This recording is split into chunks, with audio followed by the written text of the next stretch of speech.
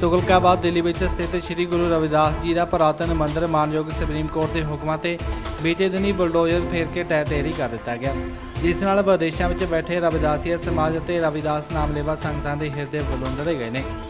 ਸਰਕਾਰ ਦੀ ਇਸ ਕਾਨੂੰਨੀ ਕਾਰਵਾਈ ਦੇ ਖਿਲਾਫ ਦੇਸ਼ ਵਿੱਚ ਵੱਖ-ਵੱਖ ਸੜਕਾਂ ਤੇ ਹਾਈਵੇ ਰੋਕ ਕੇ ਰੋਸ ਦਾ ਪ੍ਰਗਟਾਵਾ ਕੀਤਾ ਜਾ ਰਿਹਾ ਹੈ। ਉੱਥੇ ਵਿਦੇਸ਼ਾਂ ਵਿੱਚ ਵੀ ਇਸ ਪ੍ਰਤੀ ਰੋਸ ਦੀ ਲਹਿਰ ਪਾਈ ਜਾ ਰਹੀ ਹੈ। ਸੰਗਤਾਂ ਨੇ ਇਟਲੀ ਵਿੱਚ ਵੱਖ-ਵੱਖ ਸਥਾਨਾਂ ਤੇ ਇਕੱਠੇ ਹੋ ਕੇ ਰੋਸ ਦਾ ਪ੍ਰਗਟਾਵਾ ਕੀਤਾ।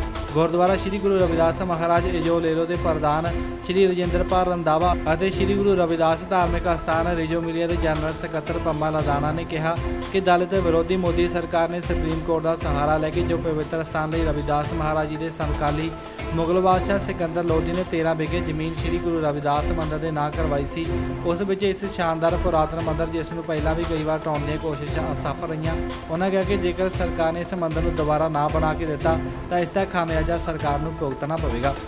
ਇਸ ਤੋਂ ਇਲਾਵਾ ਸ੍ਰੀ ਗੁਰੂ ਰਵਿਦਾਸ ਸਭਾ ਪਾਰਮਾ ਦੇ ਪ੍ਰਧਾਨ ਸ੍ਰੀ ਪੁੱਟੋ ਕੁਮਾਰ ਨੇ ਵੀ ਇਸ ਦੀ ਨਿਖੇਧੀ ਕੀਤੀ। ਸ੍ਰੀ ਗੁਰੂ ਰਵਿਦਾਸ ਦਰਬਾਰ ਮਾਨਤੋਬਾ ਦੇ ਪ੍ਰਧਾਨ ਰਾਜਕੁਮਾਰ ਮੈਲਪੁਰ, ਰਿਜੋਮਿਲੀਆ ਦੇ ਪ੍ਰਧਾਨ Kashmir Lal, Bharat Ratna doctor Ambedkar association Italy ਦੇ ਮੀਤ ਪ੍ਰਧਾਨ ਕੁਲਵਿੰਦਰ ਲੋਈ ਨੇ ਵੀ ਕੇਂਦਰ ਸਰਕਾਰ ਦੀ ਆਲੋਚਨਾ ਕੀਤੀ। ਇਟਲੀ ਤੋਂ ਵਿੱਕੀ ਬਟਾਲਾ ਦੀ ਰਿਪੋਰਟ।